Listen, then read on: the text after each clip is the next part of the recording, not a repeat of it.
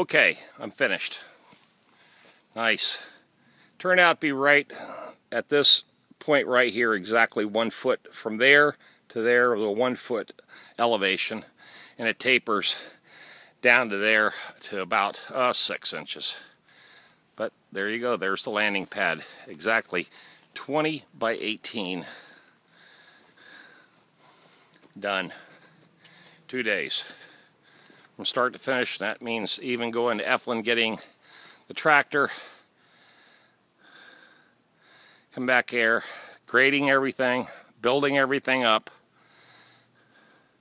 taking everything back to Efland, then going over to the uh, Triangle Landscape Supplies and getting all the uh, granite dust or crush, silt, whatever you want to call it.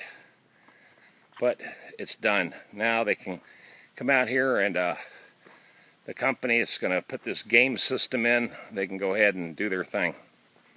There you go.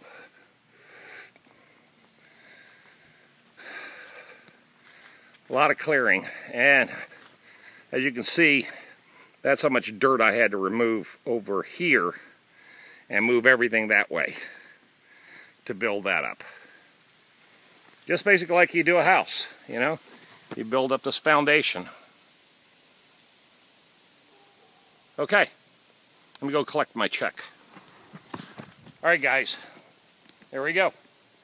I already booked another job for Saturday. I got to be back out here tomorrow and cut the grass, uh, put herbicide on it and weed killer and fertilizer on everything. And then I've got these people squared away. Then on the 15th, I've got to move their play set and bring the play set over here. More than likely, we're going to probably put the play set over in this side over here or somewhere in the yard over there. We're not sure yet. Uh, it's not a huge one, but it's big enough to where I'm going to have to disassemble it and then reassemble it. All right, check you guys out on another handyman video. Tom out of here, having fun, sweating my butt off.